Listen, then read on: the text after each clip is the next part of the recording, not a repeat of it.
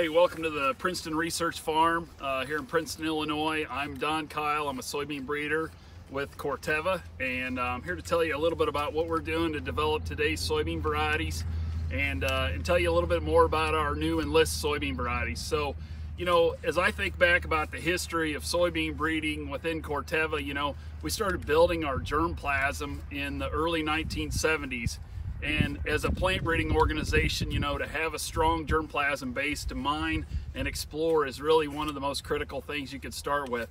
And uh, I feel really good about where we're at with our germplasm today. But I want to tell you about a couple things that really enabled us to get to where we're at today and to enable us to be better in the future. So the first revolution I want to talk about is the genotyping revolution. The ability for us to go in and look at the DNA inside a soybean plant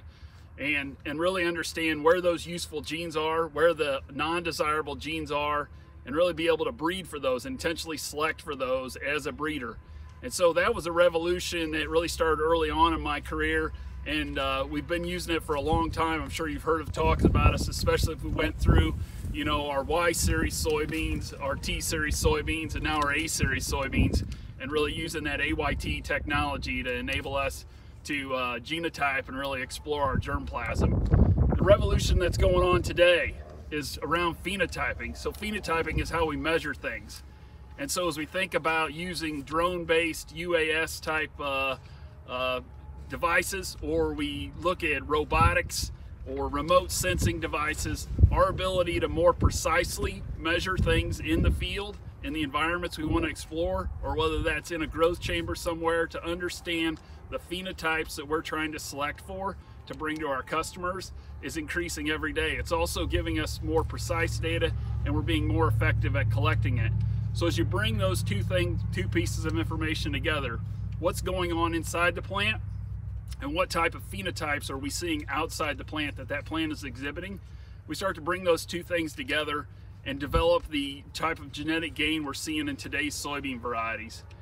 The third thing that I want to bring up is our ability to collaborate within Corteva. As a, as a ag uh, only company, uh, we have multiple groups, uh, multiple research platforms that we're collaborating across. So myself as a soybean breeder, I'm interacting with other soybean breeders around the North America, around the globe as well. I'm also interacting with corn breeders, sorghum breeders, sunflower breeders. There's a whole network of experts out there that I'm able to collaborate with to understand how they're enabling uh, increased genetic gain and what tools they're using in their crops so that we can use those in soybean breeding as well to continue to, to improve our varieties. The other piece of this is really, uh, it's not just around breeding. So we have crop modelers, crop physiologists, chemical scientists, people in crop protection, agronomists, and so on that basically enable us to collaborate across the organization to really understand what type of products our customers need, and then for us to be able to go and develop those within our plant breeding organization. So as we think about the performance of our products on our customers' acres, we know there's a lot of volatility and variability from one year to the next, especially with the weather events we've been encountering. And one thing we want to avoid is to make sure that even though the weather is going to be variable from year to year, that the performance of our products is quite consistent. And so the way we test today is different than the way we've tested in the past. So when we go out and test in environments, we're both we're looking at a large region uh, of data in order to really understand how consistent these products handle different environments across a pretty large region. We're also testing locally, especially with our impact trials, to make sure that those products that we select perform at their optimum in this environment, but also perform stable when the weather is not consistent with what we normally experience in the growing region where we're going to sell that product. And so as we as we think about, you know, the database of information we've collected since the early 1970s of soybean breeding within Corteva,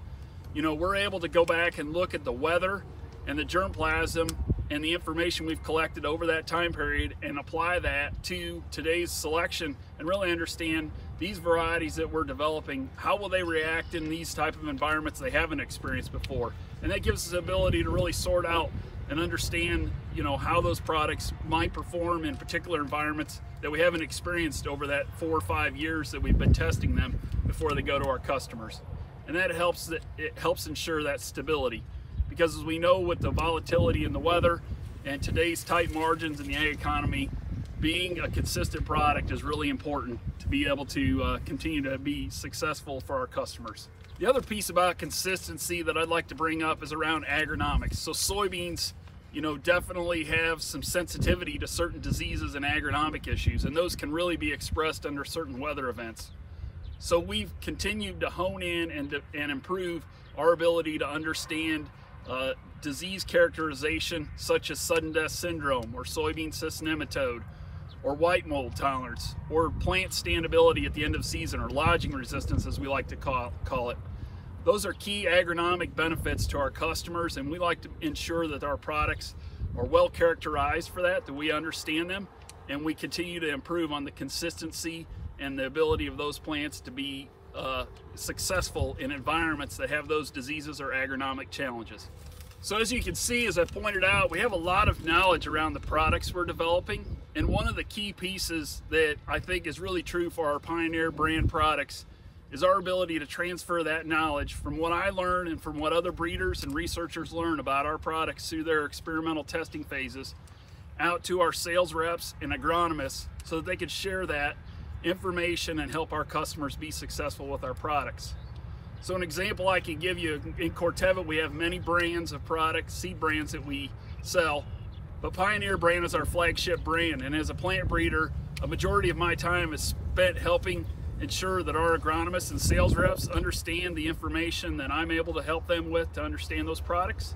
as well as for me to understand what they're seeing with our product performance and how they work on their particular acres and learn from our customers what their experiences are so that I can take that back to our plant breeding uh, program here in Princeton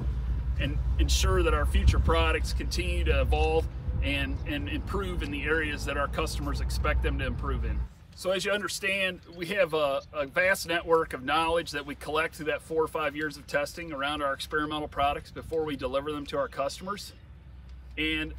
you know, that knowledge is not really useful unless it's in the hands of our sales reps and agronomists so that they can work with our customers to make sure those products are placed right so that our customers understand them well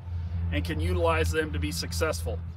And so as a plant breeder, uh, I spend a good amount of time interacting with our sales reps and agronomists to understand our customer needs and to also share knowledge about the products we're bringing. And so that interaction that I have enables them to be more successful at helping our customers. It also enables me to understand more about our customer needs, to, de to develop future products that meet the, the needs of our customers and help them be successful.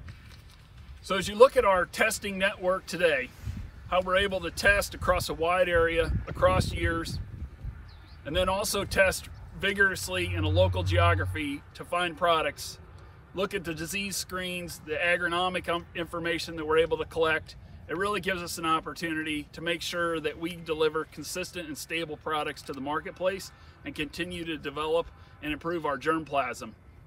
I'm excited about the current Enlist products we, we deliver to our customers that we're selling right now.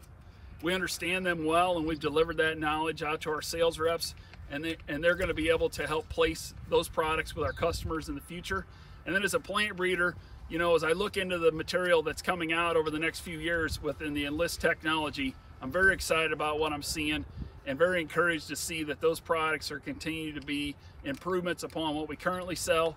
and very excited that I think our customers are going to experience high levels of success with those Enlist products that we'll see in the marketplace in the years to come.